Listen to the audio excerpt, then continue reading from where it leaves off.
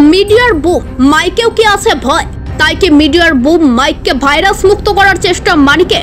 আমরা কথা বলছি রাজ্যের প্রাক্তন মুখ্যমন্ত্রী মানিক সরকারকে নিয়ে।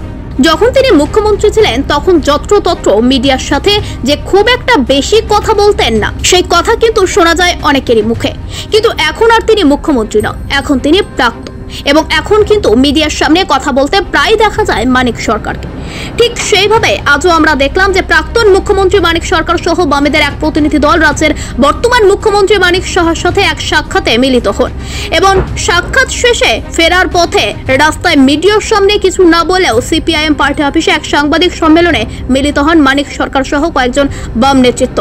কিন্তু সেই সাংবাদিক সম্মেলন শুরু হওয়ার সময় মানিক সরকার যে কতটা স্বাস্থ্য সচেতন, তা কিন্তু তিনি বুঝিয়ে দিলেন স্যানিটাইজার দিয়ে কথা বলার মাইক্রোফোন এবং মিডিয়ার বুম মাইককে স্যানিটাইজ করার মধ্য দিয়ে। এই দৃশ্য দেখার পর অনেকে আবার গুঞ্জন তুলেছে, তাহারে কি তিনি মিডিয়ার বুম মাইক থেকেও সংক্রমিত হওয়ার ভয়েই স্যানিটাইজার করার চেষ্টা করলেন মিডিয়ার বুম মাইককে? যদিও ওনার এই কাজ বর্তমান সময়ে দাঁড়িয়ে করোনা পরিস্থিতির কথা মাথায় রাখলে খুবই স্বাভাবিক।